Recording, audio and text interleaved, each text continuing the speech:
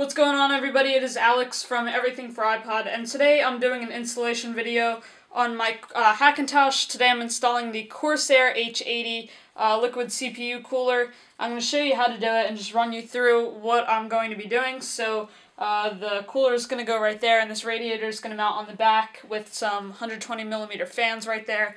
Um, so let's just jump straight into it. Again, this is my Hackintosh. If you missed any of the build videos, you can go check it out. I'll link the playlist to all of the videos down in the description. It is fully up and running, fully working, um, and now I'm just upgrading some stuff in it, getting it how I like it. So I'm removing the stock CPU cooler that came with my Intel um, CPU. So uh, the first thing you need to do is remove your side panel and go ahead and remove the other one as well. Alright, so we've got our um, side panel off, and you can see that my case has a cutout for the CPU mounting bracket right there. So if you don't have a cutout like this that exposes your motherboard on your case, you're going to need to actually remove your motherboard from the case. Luckily, I don't have to do that because I have that little panel, so um, I should be all good. So we need to remove the stock CPU cooler. It doesn't require any tools. You just pull the header out so the little connector from your motherboard, and now these pins just twist off, so um, there's little arrows on them that tell you which direction to twist it. Now the pins just pull out straight like that. And um, we've got our CPU right there, with, our CPU fan with some dried up, uh, is that dried up? I don't know if this stuff dries. Anyway, we've got our uh, thermal paste on there still, and we're going to need to get the thermal paste off of the CPU before we put the new cooler on. Alright, to get the uh, thermal compound off, I got some coffee filters. You're supposed to use like a cloth, uh, lint-free cloth, but I don't have any of those, and I figured this will work better than getting lint in there, because this isn't going to leave any lint. And you're also going to need something like rubbing alcohol. So, um, I forgot who I saw on YouTube that said this uh, that coffee filters will work just fine. But um, somebody said they do. And I'm just going to go with that. So you just want to um, get it a little bit wet with your alcohol. You don't want too much for obvious reasons. We're, you know, touching electronics. But um, just, I'm not going to take the CPU out of the socket and the board. But I'm just going to rub in circular motions here. And it comes off extremely easily. Alright, and that's looking pretty good. So you can see the area where I did have the compound and now it is all off, so we're good to go and we can start installing the new one.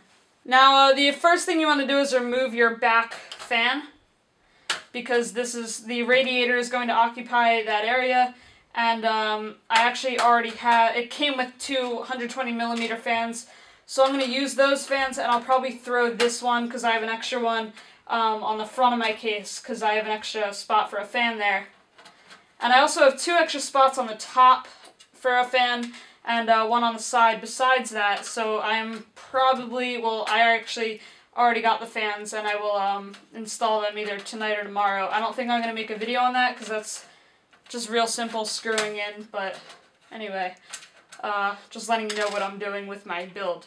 Alright, so I've got all the screws out. Now I actually just want to uh, disconnect it from either your power supply, if that's what you have it hooked up to, or if you have it hooked up to the motherboard like I did, just disconnect it and then uh, pull the cable through and just get the fan completely out. Alright, so now I'm going to put the uh, radiator in as well as one of the fans. So just I'm um, going to get it ready here. And uh, I'm just going to put one of the fans on for now. The other one will go on a little bit later once we did do some more steps. That's just going to make some extra room and make it a little easier to work with. So we have to make sure it's going the right way as well. So the label on the fan, on both of the fans, should be facing the front of the case. And that's basically going to push the air out, make sure it's um, flowing in the right direction. So we're going to line it up and just, uh, there'll be screw holes on your case. Um, we also want to use, make sure we use a screw and a washer on each of the screws that it comes with. So um, I'm just going to get all the washers prepared.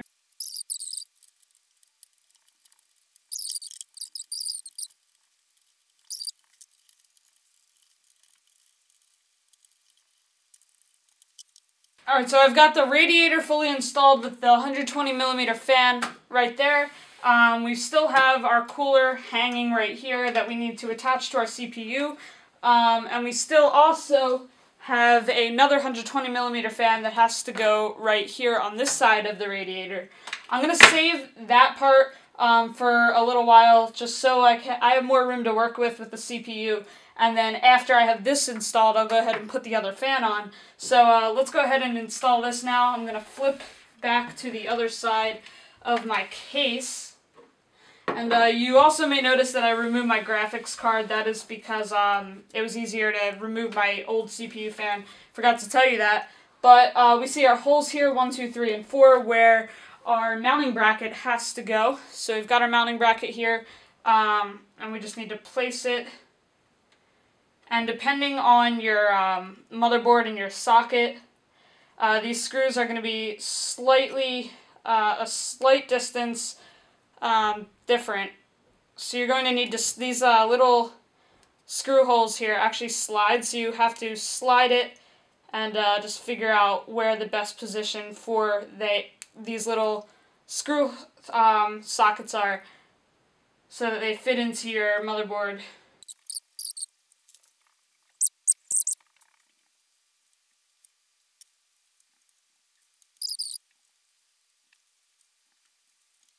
Alright, so I've got the mounting bracket in place right there that's going to hold the um, cooler in place. Now I need to take these little guys right here, um, and they go in the other side to hold this in place. So I'm going to need to spin this around and just hold this in place while I spin it. Right here we've got one of these in already, and we have to put them in the other holes right there. So you always, when screwing things in, in um, pretty much anything, you want to make sure that First of all, you don't drop it. So I'm just going to set those aside so I can get a little better angle here. Um, but you want to make sure that you always go opposite corners. Alright, so I've got the uh, cooler right on the CPU there. I've also got the fan in the back as well as the radiator hooked up. Um, my camera can only record 20 minutes at a time, and for some reason it just cut out on me. Um, so I don't know where it actually cut out. Hopefully it wasn't too long ago, but I have everything pretty much hooked up. I've still got some wires dangling here, as you can see. And uh, I've also got to put one more fan on, which is this one right here. So I'm going to go ahead and just make sure I have my screws for it.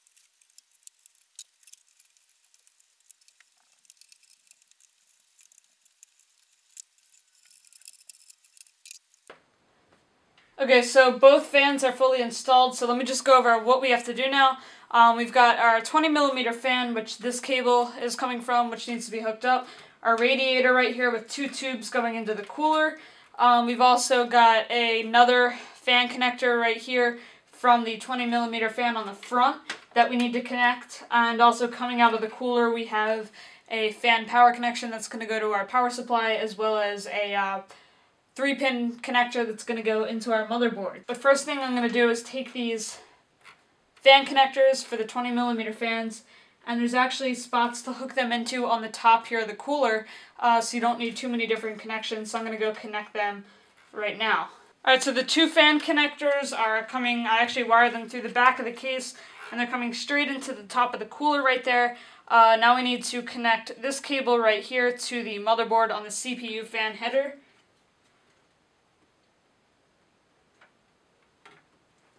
And then this cable right here is a uh, fan cable, and we're going to need to get a fan connector from our power supply up to there, so I'm going to go ahead and do that right now. It is now connected to the power supply, I'm all ready to go.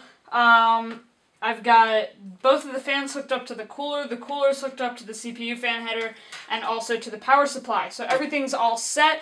Um, good to go. I've got everything done. I just need to go throw my RAM and my video card back in. Thanks for watching, guys. If you enjoyed this video, please drop a like, and uh, it really helps me out a lot. Also, subscribe if you haven't already so you don't miss out on anything, and I will catch you in my next video.